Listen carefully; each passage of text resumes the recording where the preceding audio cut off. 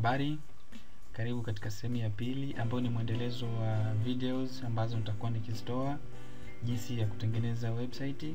Uh, kitu cha kwanza unachotakiwa kufanya unatakiwa utengeneze folder ambalo hilo folder lita contains uh, mafaili yako yote muhimu ikiwa ni HTML files, CSS, images na vitu vingine ambavyo utavitumia kwenye website yako. Uh, mimi ningependa kuita Mdaki Junior kama hivi. Baada ya kwisha kuwa umetengeneza folda lako, utalifungua hilo folder. Uh, baada ya kulifungua uta create mafolda mengine kwa ajili ya kuhifadhia mafaili mengine. Kwa mfano hili hapa la kwanza naweza ukaita images. Uh, images unaweza uka create folder la, la pili ambalo unaweza ukaliita uh, CSS. Hii CSS ni kwa ajili ya kuhifadhia style sheet. Unaona? Lakini sidhani kama tutaitumia kwa sasa hivi, ila kwa sasa inabidi tuanze na hayo mawili. Baada ya kufanya hivyo, utafungua sasa hiyo editor yako. Uh, ukishafungua itaonekana kama hivyo. Ngoja niongeze ukubwa kidogo ili ionekane vizuri. Ukishafungua uta create new file kama hivyo. Ili file hii ni untitled, lakini sasa inabidi tulisave. Tunalisave wapi? Tunalisave kwenye lile folder letu la kwenye desktop. Uh, kama hivi unalisave hapa kama default. Uh, ili, ili file itabidi ulite index. Tunalita index kwa sababu gani? Unapokuwa umelisave umelipa jina la index, uh, browser yako itakachokuwa inakifanya au user akisachi website yako, faili la kwanza kuonekana ni index, ndio maana tunalita index. Kwa utaita index.html. Hii .html hii ni extension ambayo inatumika ku identify kwamba ili faili ni web file. Unaona, kama ilivyo kwenye images. Aa, kwenye image unaona kuna labda mdaki.jpg. Unaona, ile jpg inatumika ku identify kwamba hili ni faili uh, ambalo ni aina ya image. Unaona, kwa hiyo tutasave kama hivyo. E, baada ya kusave inabidi tu view sasa, tu open folder letu tuone kama je, uh, file letu limejisave. Kwa double click kama hivyo, unaona limeshajisave index.html. Uh, file yetu ni index.html na kwa sababu tumetumia extension.html, unaona file letu limeshajisave default kabisa kwamba unaweza ukaliopen kwa kutumia nini, Chrome. Kwa hiyo hapo hivi una open kwa kutumia Chrome, unaona. Uh, tungesave extension nyingine huenda lisingejisave kama hivi, unaona. Kwa hiyo unafanya kama hivyo sawa. Kwa tushaona file letu limeshajisave, kwa twende kwenye text editor sasa tuweze kuweka uh, kodi za muhimu. Uh, kwenye text editor unapokuwa unatengeneza website um, yani unatakiwa kuna vitu vya muhimu vya kuzingatia. Kwanza unatakiwa uweke doc type declaration uh, doc type uh, doc type mm, HTML. Hii doc type inaonyesha kwamba hii ni document type, kwamba inaonyesha ni version ipi ya HTML ambayo unaitumia. Baada ya kuweka doc type, itabidi ufungue uh, na kufunga tag za HTML kwa sababu tunatengeneza HTML file, unaona. Kwa hiyo kama ni HTML file utaanza kwa kufungua HTML kama hivyo, hiyo ni open tag. Uh, close tag inakuwa kama hivi HTML.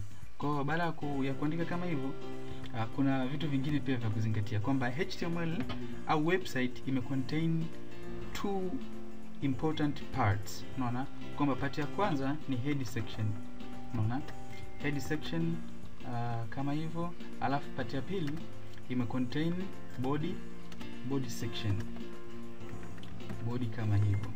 Uh, hii ina maana gani? Kwamba head section ime contain all elements ambazo has display kwenye browser, yaani zile element ambazo ni za muhimu sana ambazo zinatakiwa zi, zi, loaded first kabla ya kufikia kwenye body, unaziweka kwenye nini? Kwenye head section. Kwa hiyo kwenye head section unaweza ukaweka vitu kama title. Hapa hivi tuna kwenye head section unaweka vitu kama title. Kwa hiyo una double click kama hivyo, uh, una create title title kama hivyo. Hii title uh, inaonyesha kwamba hiyo tabu uliofungua inaitwaje?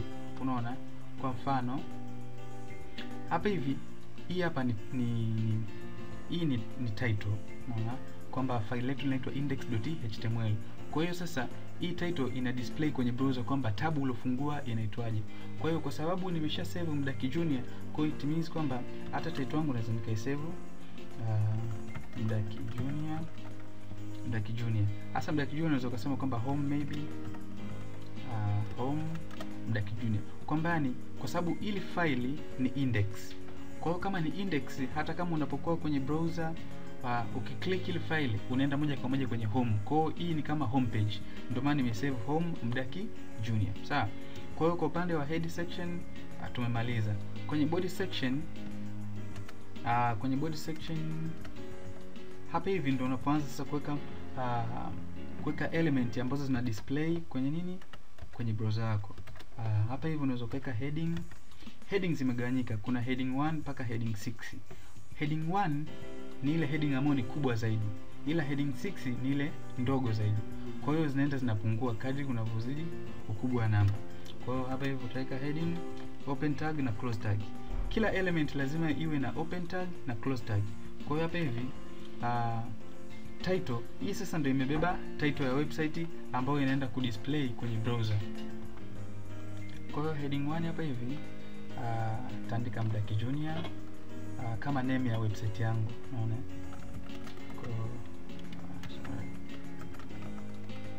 Mdaki junior kama hivyo. Baada hapo ngoja nijaribu kusave ili nione kama je kwenye browser imeshajisave na inaweza ikadisplay. Kwa nabinya control save anakuja kwenye browser kuangalia kama imejisave kwa hiyo ili kuweza kutambua inabidi ni refresh sasa hii hapa. Kwa hiyo refresh hapo hivi. Umeona imeshatokea kwamba mdaki junior. Unaona lakini ni bunch of codes ambazo umeziandika hapa hivi. Hivi vyote hivi havija havija display. Umeona vyote hivi havija display. Vilivyo display ni hivi hapa kuanzia kwenye body section. Kwa hiyo ime display mdaki junior. Mdaki junior uh, baada ya hapo uh, unaweza ukaanza kuweka vitu vingine tena. Baada ya kuwa umeandika heading 1 unaweza ukaweka heading 2 hapa hivi h2 au h3 whatever utakapopenda mwenyewe kuweka. Kwamba hii hii heading nyingine labda tuite kwamba uh, karibu katika website karibu katika website yangu. Hasa naisave hii alafu naenda kurefresh huku. Uh, ukirefresh unaona imekuja kabisa kwamba karibu katika website yangu. Baada ya hapo ungependa labda kuweka paragraph paragraph ambayo ina, ina explain kwamba inaelezea kwamba website yako inahusu nini kwamba unaweza ukasema website hii